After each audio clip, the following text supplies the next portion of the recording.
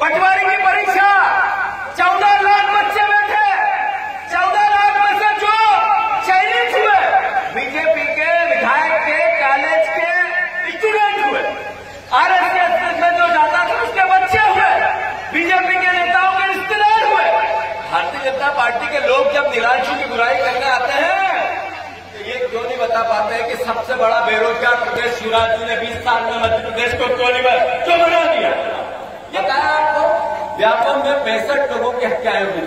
व्यापम में पैंसठ लोगों की हत्या राहुल भैया विधानसभा में थे।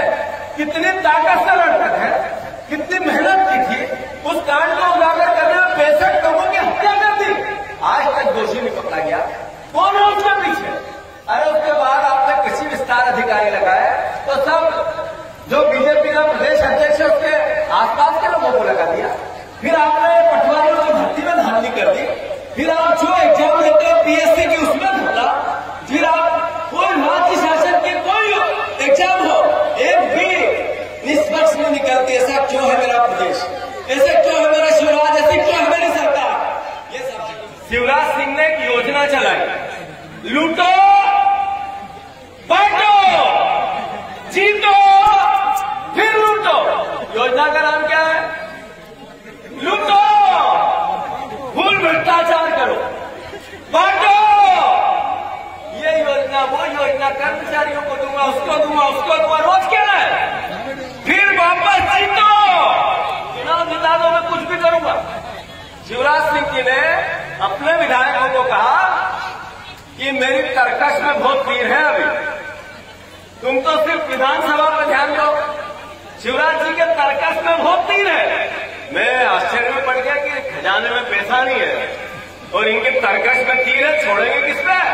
तो इन गरीबों पे छोड़ने लगे। इनके बच्चों पे छोड़ने लग गए, प्रदेश को कर्जदार बनाने में लग गए।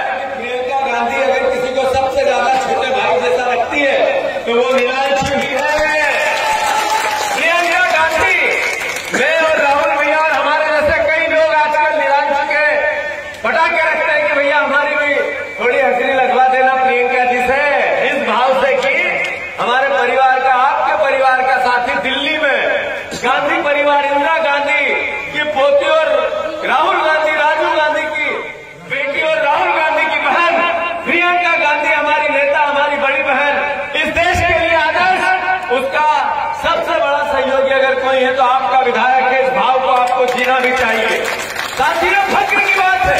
बीजेपी वाले क्या कहते हैं मुझे नहीं पता। कितनी बुराइयाँ करते मुझे नहीं पता। पर बीजेपी का विधायक बन जाएगा तो कभी नरेंद्र मोदी के पास नहीं जा पाएगा।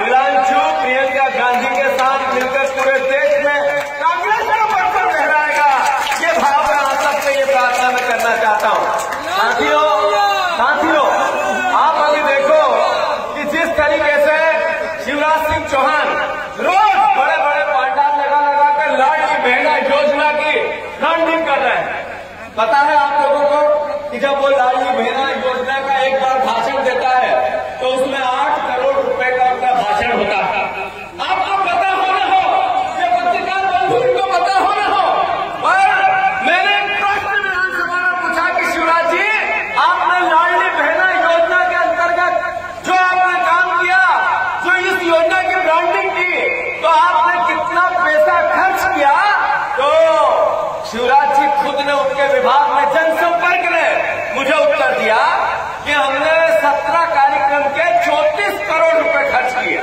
काय के सिर्फ़ पांडाल लगाने के माइक लगाने के सोफे लगाने के सो, मंच को सजाने के सत्रह कार्यक्रम के चौतीस करोड़ फिर जो भीड़ लाई जाती है।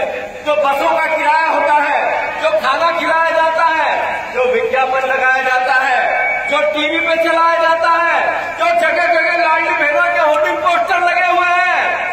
एक कार्यक्रम के आठ करोड़ रुपए एक भाषण के शिवराज जी को लगते हैं। और ये आठ करोड़ रुपया मध्य प्रदेश के खजाने में नहीं है।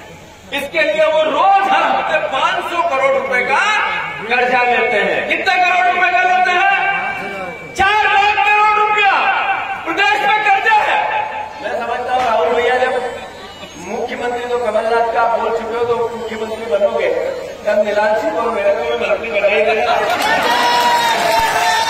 मैं चाहता हूँ जोरदार तालियों से जोरदार तालियों से एक साथ मिलके मैं राहुल भैया को निवेदन करता हूँ कि आओ, आप आ जाए तालियों की गड़गड़ाहट होनी चाहिए देखो हमारा मंत्री को खर्चे वाला है